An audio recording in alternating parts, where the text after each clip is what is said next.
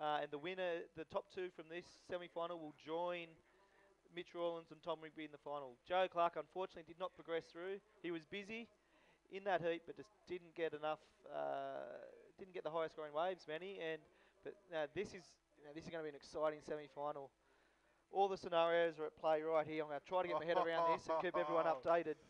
But firstly, in the water, in the blue, the wonder kid from Venezuela, Sergio Alonso. But up and riding, we have the local man, uh, Airam Cabrera, tries to get the time in. Starts off with oh, a nice, could not pull around uh, that. he Caught. Not good news, but look, hey, that's first wave. But this guy's a local. He knows it well. Here's Sergio. Here's Hugo Pinheiro, the Portuguese guy in white.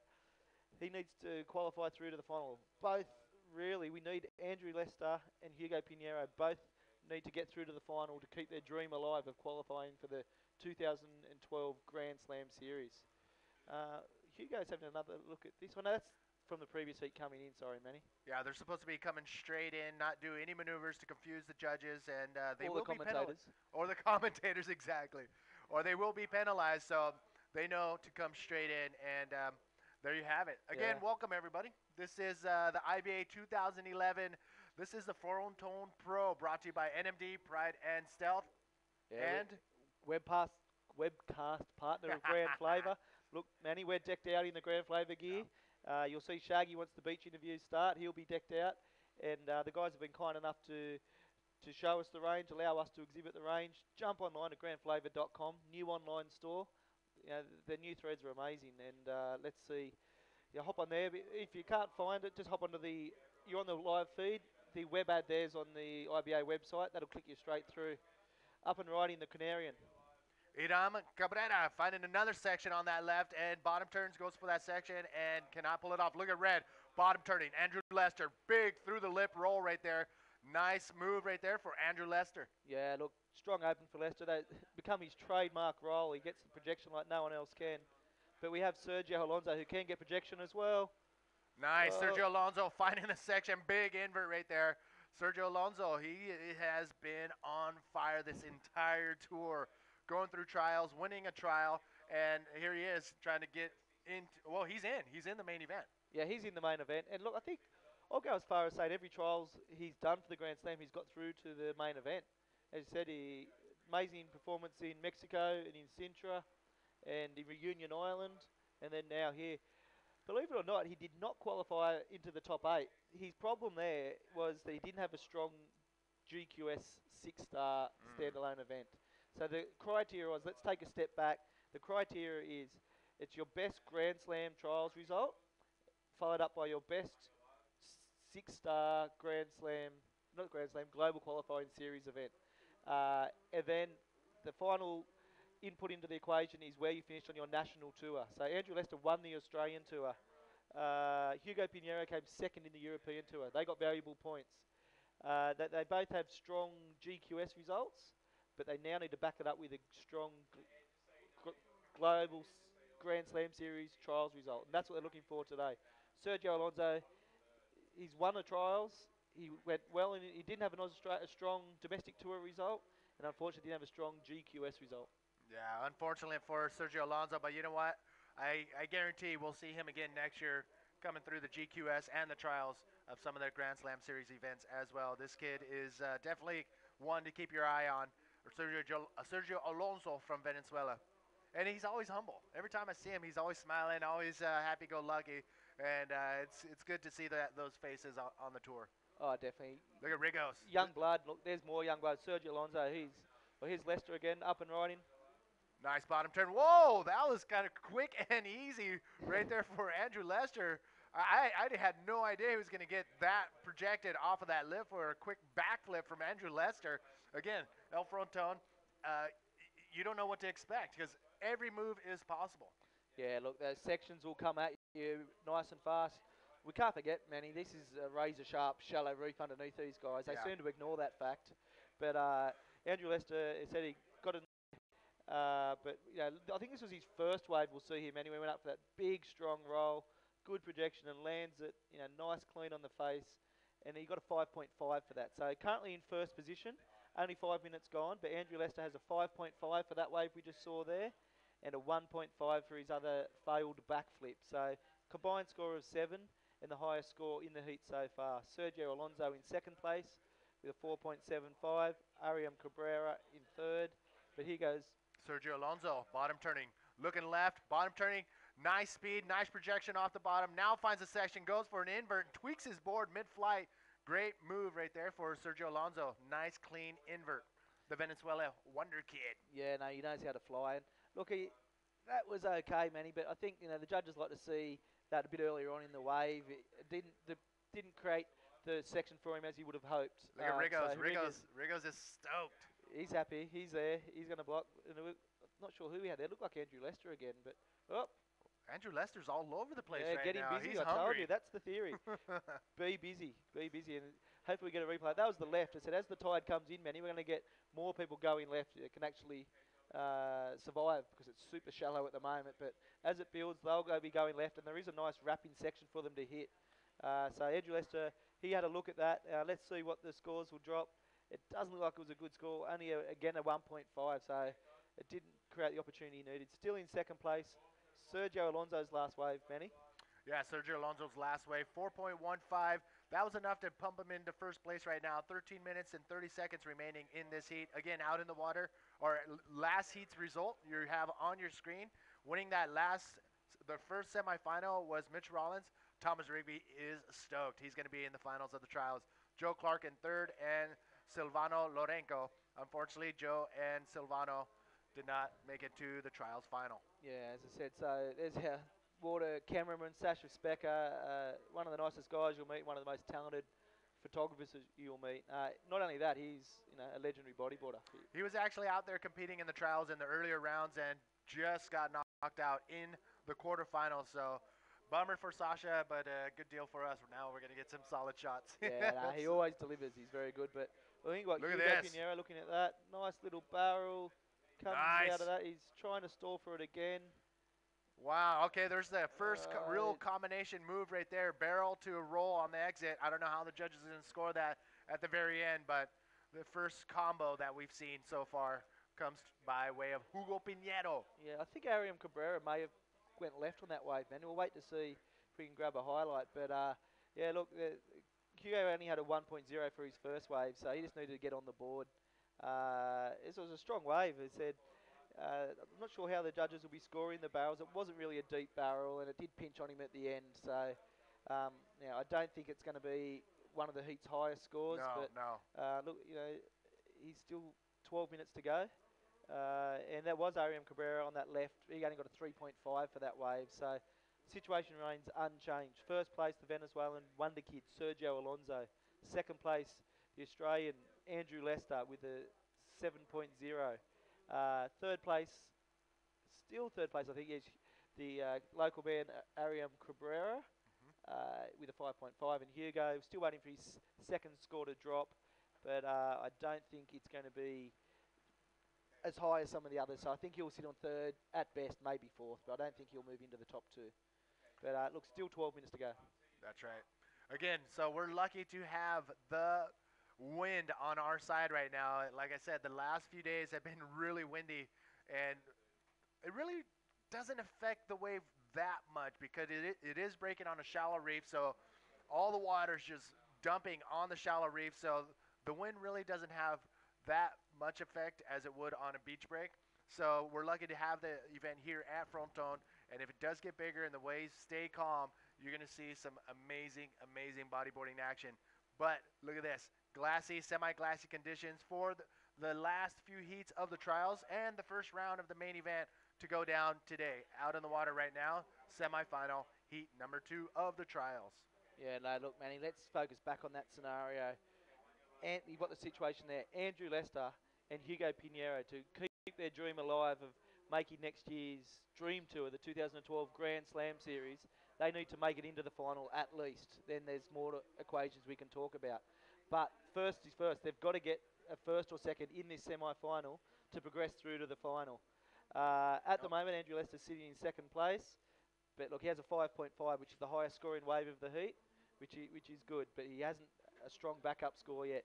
Hugo Pinheiro, he's sitting in fourth place with a higher score of a 4.0. He's got a little bit more work ahead of him, but uh, amazingly talented rider, Hugo. And uh, we saw in the quarterfinal him you know, dropping sevens and eights. So, you know, if he did that, he'd be rocketing into first place. So, again, anything can happen here with nine minutes 50 to go. But oh, Manny, I can feel the tension. These guys, I you know, Andrew Lester this morning, he was he was tense, but he's you know, he's been around a long time. He's like I think you know it was 10 years ago. He he was in the finals. He won Pipeline actually, the Pipeline Pro. So this guy, he's been around for a long time. So if you think if anyone can handle the pressure, Andrew Lester's the man. But it also comes down to the other guys in the water and what Mother Nature serves you. That's right. Uh, The, uh, the, uh, the cool thing about Andrew Lester is uh, I think he's pretty much saying, hey, if we're, if we're going to have a world tour in these kind of waves, I want to be a part of it. So a lot of the guys are starting to come out of the Workworth, and look at this. Nice bottom, nice clean drop right there. Holds onto his rail. Can he come out of that? No, too much froth, too much whitewash coming out of that barrel. Too much for Sergio Alonso. Yeah, I thought he was going to pull it off. Yeah, I think you just saw the he caught that lip right on the head. It, it just showed you the potential of what the left can serve up, especially as the as the tide starts to fill in. Uh, you know, we've all seen images in the magazines and on the podcasts of, of some of those left-hand waves that just create an amazing barrel and end section. So we're, we're going to see that. The exciting thing is, Manny, the back end of the waiting period, we've got some big swell coming. So it looks like we're going to crown the world champion in eight foot plus conditions. That's going to be oh insane. I can't wait for that. We're going to see the, the world's best bodyboarders in w- the world's best bodyboarding wave. And it's going to be, I, I can't wait for that day. I can't wait for the final. Let's hope Mother Nature has some mellow winds and some big swell because eh, glassy fronton. You've seen a lot of the video footage, a lot of photos, and it's just, it's amazing. Yeah, look, this is the sort of wave it does. It, you know, we'd all love it to be massive, Manny, and it said it is looking like it will be. But waves like today, Hugo. uh, he just didn't get what he wanted there. Uh, yeah, waves like today, it's still they're still high performance waves. Yes. Uh, it's very you know very exciting. But here we have the local man, um, Cabrera. He's been busting ARSs all. Whoa! Oh, nice. He just I guess the problem there is, as it saw, you saw it wedging across, but I guess the judges like to see them land on the open face and ride it through. But it's such a shifty wave here. Um, the judges need to adapt, but uh, let's see what the judges think. But here's his wave again, Manny. All right, so Airam Cabrera, bottom turns. He has his eyes set on that section that he sees right in front of him and goes straight off the bottom, goes straight in skyward for a big invert air maneuver right there, and lands on the other side of the wedge. So he's trying to kick up and over that to get that wave scored as a complete. So Airam Cabrera, 3.85 on that wave. Yeah, no, It was a, it was a smaller wave. Yes, he got a lot of air, but uh, he la- he landed off to the side of the wave instead of in front of the wave. So, which is hard to do here at Fronton. yeah, no, look, most definitely, and it was enough to push him into second place. So at the moment, first place Sergio Alonso, second Airam Cabrera. In the white, we've Up got and. Hugo. Oh, ho, ho, ho. Hugo Pinheiro, air RS, an air roll spin maneuver coming off of that bottom turn right there for Hugo Pinheiro. He only needs a 4.9 to jump into first place and only a 3.35 to jump into second. I'd say that's going to happen. Uh, and said with six and a half minutes to go, it's all happening. Uh, you know, anything can happen, but uh, you know, as I said, I think as we see, let's have a look at this wave again. Nice, gets up to the section and look at little, oh, that's nice. Andrew Lester. Andrew Lester out the back, pulls in under Oh. the section, gets barreled, and, And he comes out of there. that nice barrel ride for Andrew Lester. Little claim too. Look, that's probably the biggest barrel we've seen so far as action. It'll be interesting to see how the judges score that, but uh, And it it- was nice and deep. as he came out of that barrel, good. we Let's got another look at this Look right at here. that. Andrew Lester, look how deep he is. Stalling, he knows how to ride a barrel. And the trick is, it's starting to pinch, pinch at the very end, and you'll see him high on the high line to Yeah. get out of there nice and clean. So great Little barrel claim riding here, watch technique. this one. He was pretty happy with that. Come on, he says. Yeah. And uh, Andrew Lester, bang, 7.25. He's jumped back into first position. But Airam Cabrera's got a section coming his way. So look at that, man. A little flurry of activity. Andrew Lester has jumped back into first position with that 7.25. He now has a combined score of 12.75. Sergio Alonso in second, Hugo Pinheiro in third. The important thing is Hugo, if he wants to keep the dream alive to qualify for ne- the 2012 Oh, World man. Tour, he needs to finish at least second. To do that, he needs a 4.51. 4.51 with five minutes to go. Very possible. But he needs an 8.35 to jump into first. But hey, look, it's wide open. Airam Cabrera, currently in fourth position. He only needs a 5.05 to jump into second. So at the moment, Andrew Lester's given himself a little bit of breathing room. He's jumped into first to be displaced. Sergio Alonso needs an 8.0, needs to, to jump into first. Hugo Pinheiro needs an 8.35. Airam Cabrera needs an 8.9. So, oh, you can never say never, but Lester would be breathing it a little bit easier. Yes. But four and a half minutes to go. You know, another set wave comes through. Any of these guys can drop an eight or eight plus, and Lester drops back to second. But the pressure really is now on the man from Portugal, Hugo Pinheiro. Oh no. He's in third position. He needs a 4.51 to jump into second. That's all he needs to get into the final. That's his first. That's his only objective at this, no. this Ah, stage. Yes. So he has four minutes to get a 4.51 at Fronton to keep his dream alive to join the world's best in the 2012 Grand Slam Series. So there, just so you guys know, watching live, uh, this is the 2011 IBA NMD Pride Stealth Fronton Pro, but the scenario out in the water in the trials is actually going down to the wire for those who qualify in those last eight seats to make up the 24 seeds in the 2012 World Tour. Out in the water, this guy right here, Hugo Pinheiro, has everything to gain on this wave. Oh, no, and uh, he comes around the Oh! section. Can he come out of that? I don't think so. He got pinched at the very end. I thought he was coming out of that. Ah, I saw his body. exactly like you just explained on the previous wave of Andrew Lester's. He got in deep, then as it started to pinch, he got high and he got out of there. Yeah. Unfortunately, Hugo on his wave, he was in the barrel, but he didn't get himself high and he got pinched. Yeah. And Manny, that is so critical. He needed a 4.5. That could be his Oh man. world title chances for 2012. That is such a big wave. Um, I'm not sure if the scores have dropped. I'm not sure if that is these 2.9. Um, I think it was, Manny. The judges, un- well, they rightly so. He didn't make it out of the barrel, and you know, I think a 2.9 is what was dropped for that wave. Well, even And- though he's got he's got a short paddle out back to the peak, but here's the problem: there's three guys because there's such a small area to take off on the good waves. Everybody's going to be in that area. You see how close and tight these guys are on the peak. Well, Sergio uh, Hugo Pinheiro is going to paddle back out, and he has he's pretty much you know fourth in line for that next wave because these guys are going to go look for that better wave. So. I don't Yeah. know. That last wave could have been his last chance, but two minutes remaining. Manny, the, the priority system is working. Great point. So he's back at the end of the queue, but it's such a shifty peak. He doesn't have to sit there right in the pack. I imagine he'll sit over. Look at this. Look at this. Airam Cabrera Coming around the nice section. set, Just no, didn't pushed across the reef. Didn't wasn't what he wanted. Two minutes to go. That's not going to trouble the scorers. But Hugo Pinheiro still needs a 4.5. The other fascinating angle here, Manny, we just saw image of that was Sergio Alonso. Strong roll. Uh, that could make life even harder for Hugo. Uh, but up there in the massive structure we have here at El Fronton It's is Tom amazing. Rigby. Tom Rigby sitting there, crossing fingers, crossing toes that Hugo Pinheiro does not make it into the final. Because if that happens, he is safe. He has qualified for the 2012 Grand Slam Series because he's currently in seventh position. If Hugo drops out, he cannot move in. The only person who is then at risk is the South African Adam Morley, with Andrew Lester got his eyes on his prize. Oh no! But so Tom Rigby, one minute to go. He's sitting up there, holding his breath. He's, I'm sure his mum's watching at home, and his you know, big group of family and friends, crossing fingers in the next 60 seconds that Hugo Pinheiro does not get a 5.85. wow. After that Sergio Alonso roll, Hugo now needs a 5.85 to jump into second place. We've seen it. We've seen the we've seen the light get taken away from Thomas before the Ah, first yes. event on Pipeline. the tour in Pipeline when Jeff Hubbard came back from the depths of no man's land and took the win. Hopefully Hugo does not do that to Thomas here. Look at this, another look. Look at Sergio. He's such a little kid. He got under the lip, but he just busted through the lip. A nice, powerful roll. And look, I said he'd be 50 kilos ringing wet, that guy, and he still came out. And uh, look, he got a 5.5 and just made life difficult for the Portuguese man, Hugo.